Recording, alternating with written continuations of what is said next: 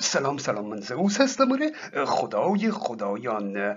می‌دونید که در هر جامعه یه سری قوانین مدنی وجود داره که باید رعایت بشه و حکومت ناظر بر اجرای اون در جامعه هست. و هر کس که خلاف کنه مورد قضاوت و مجازات قرار می‌گیره. در این قوانین نوشته شده حد اقل اخلاق رو در نظر گرفتند. مثلا دزدی و قتل که غیر اخلاقیه قانونا هم جرمه و مجازات داره. اما خارج از این قوانین مدنی یک سری قوانین اخلاقی نانوشته هم در جامعه هست که خود مردم ناظر اون هستند. و هر کس که خلاف کنه مردم خودشون مجازاتش می‌کنند و حتی به کسی که رعایت کنه پاداش میدن. مثلا خوشرویی، راستگویی، امانتداری و موارد اخلاقی دیگه. اگر سوی انسانی رعایت نشه مردم او رو ترد می کنند مردم با او ارتباط برقرار نمی کنند او رو دوست ندارند مسخره می کنند و این گونه او رو مجازات می کنند یعنی مردم بر اجرای این قوانین نانوشته اخلاقی نظارت می کنند قضاوت می کنند و مجازات می کنند اما هر انسانی علاوه بر زندگی اجتماعی با مردم یک زندگی خصوصی هم داره. گاهی تنها میشه و با خودش فکر می‌کنه. اما طبق عادت همونطور که در جامعه با مردم ارتباط برقرار می‌کنه با خودش هم همونطور ارتباط ایجاد می‌کنه. یعنی مثلا با خودش حرف می‌زنه تعریف می‌کنه گپ می‌زنه. بعضی ها خیلی از این معاشرت کردن با خودشون لذت می‌برند. در واقع انگار یک شخصیت دیگه ای در درون خودشون دارند و دارند با او گپ می‌زنند. این هیچ ربطی به روح و باورهای خرافی نداره. این عادت و شیوه گذراندن تنهایی ها در انسان هست.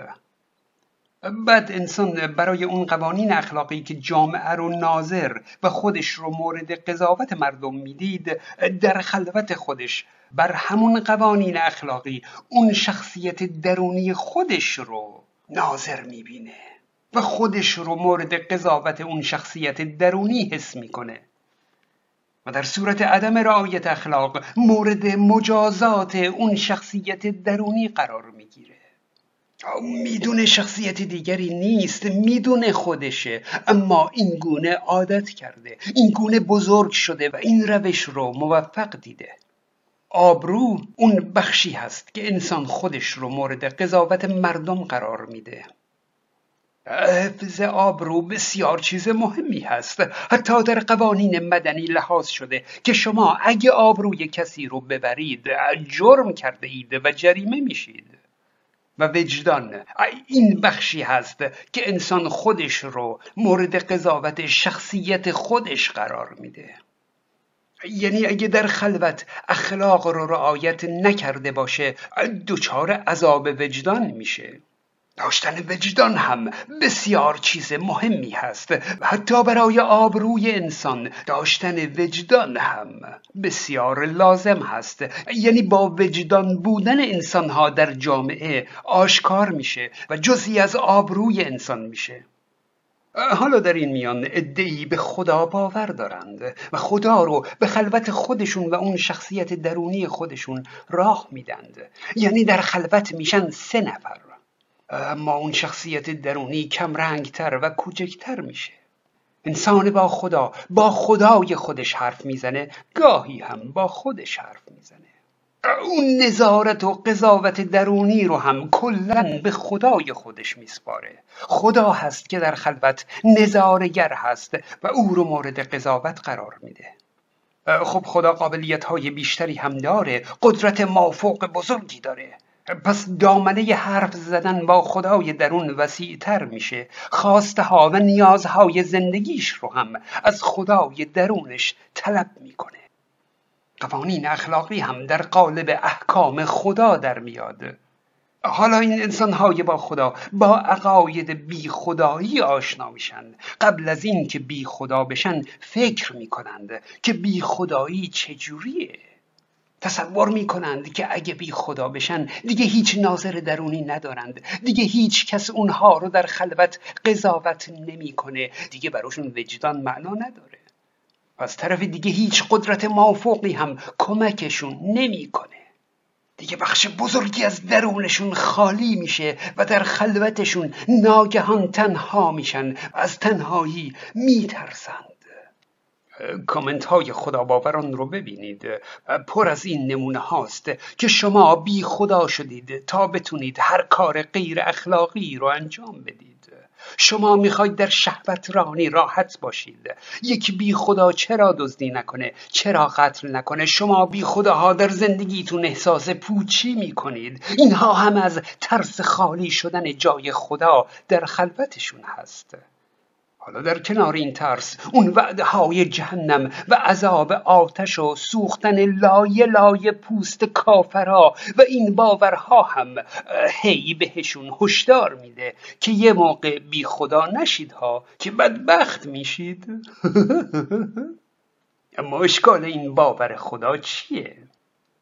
ببینید پوست محافظ بدن هست. یعنی درون بدن رو. از میکروب ها و عوامل مرگبار محیط بیرون جدا می‌کنه و به اونها اجازه ورود نمیده.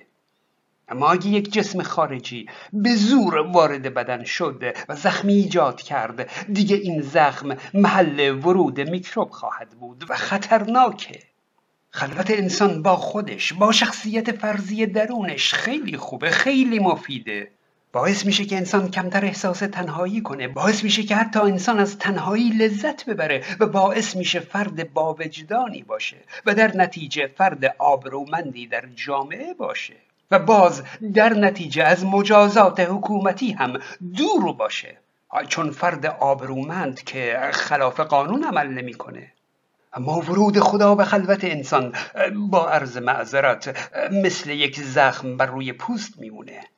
راه ورود عوامل مرگبار بیرونی رو باز می‌کنه. شخصیت خدا دیگه شخصیت درونی شما نیست. درست اون خدا هم یک شخصیت فرضی هست اما خصوصیات اون رو آدم از بیرون تعیین می‌کنند.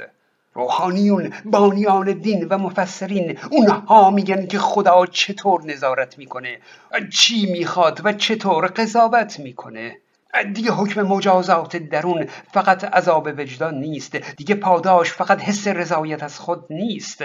عذاب و پاداش خدا فیزیکی هست. دست کم وعده فیزیکی میده. آتش جهنم و حوری بهشت. مثل نوزادی که بهش شیر خشک میدن اون وقت دیگه حاضر نیست شیر مادر رو قبول کنه. انسانی که بهش وعده هوری میدن دیگه حس رضایت از خود دیگه رازیش نمی‌کنه.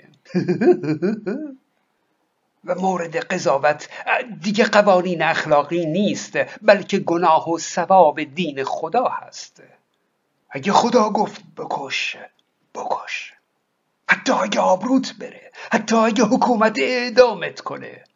یعنی بانیان دین حاکمان درون خلوت انسان میشن و کار نظارت و قضاوت درونی رو به دست می‌گیرند. و بر وجدان و اخلاق انسان سوار میشن. اما بعد از اینکه انسان بی خدا شد تمام اون چارچوبی که بر اساس وجود خدا در ذهن خودش چیده به هم میریزه و باید دونه دونه اونها رو بازنگری کنه و بر پایه دیگری بنا کنه. مسلم یک سری از عادتها و رفتارها رو دور میریزه و یک سری کارها رو که تا اون موقع به خاطر خدا انجام می‌داد یا انجام نمی‌داد از این به بعد به خاطر حکم عقل و اخلاق انجام میده یا انجام نمیده. و این دوتا خیلی فرق می‌کنند. این که به خاطر حکم خدا باشه یا به خاطر اخلاق. چون معمولا در احکامی که با نام خدا صادر شده بیعدالتی دیده میشه. مثلا در اسلام بین مسلمان و غیر مسلمان بین مرد و زن بین انسان آزاده و برده به طور ناعادلانه و غیر اخلاقی فرق گذاشته شده. و کسی که به خاطر خدا رعایت می‌کنه و نه به خاطر اخلاق در واقع از عدل و انصاف بدور هست. یک خدا باور عقل داره. اما فقط به خودش اجازه میده که از عقلش برای تایید حکم خدا استفاده کنه. اینجور اقلانیت به هیچ دردی نمی‌خوره. می‌بینید که یک ایرانی که میره در یک جامعه غربی ممکنه با موسیقی غربی حال نکنه. دوست داره موسیقی ایرانی بشنوه و کنسرت ایرانی بره و آهنگهایی رو گوش میده که شاید غربی ها اصلا حاضر نیستن گوش بدن. یه آفریقایی هم همینطوره. با موسیقی آفریقایی حال می‌کنه. اینها مادرزادی نیست. انسان در جامعه ای که بزرگ میشه همچین روان شخصیتش در همون جامعه شکل می‌گیره. مطابق فرهنگ همون جامعه شکل می‌گیره. و احساس لذت هاش هم مطابق همون فرهنگ هست. این واقعیتیه که به مقدار زیادی دین جامعه در فرهنگ جامعه رخ نمی‌کنه. مثلا یک ایرانی چه با خدا و چه بی خدا. همین که در فرهنگ ایران بزرگ شده باشه تحت تاثیر اسلام بوده و هست. حالا آیا باید یک بی خدا این تأثیرها رو از بین ببره؟ نه. تغییر فرهنگ جامعه رو کار ندارم. فرهنگی که در روان یک شخص نشسته شخص حالا که بی خدا شده آیا باید آثار دین بر فرهنگ خودش رو بر روان خودش رو تغییر بده؟ خیر. مگر اینکه اون فرهنگ و اون آداب و اون عادات غیر انسانی و غیر عقلانی باشند؟ اون وقتی که باید خودش رو تغییر بده به هر زحمتی که هست اون عادات رو از خودش دور کنه. مثلا یک فرد ایرانی ممکنه غیرت مردونگی بر ناموس خودش داشته باشه. اگه این غیرت موجب رفتارهای غیر اخلاقی میشه باید اون رو از بین ببره به هر روشی که هست. اما اگه رفتاری غیر اخلاقی نداره. تغییرش نده ایرادی نیست. تغییر روان آدمی کار سختیه. به تعادل روان انسان فشار وارد می‌کنه. از قدیم گفتن که ترک عادت موجب مرض است. فیسبوک من رو هم فراموش نکنید. من زوس هستم.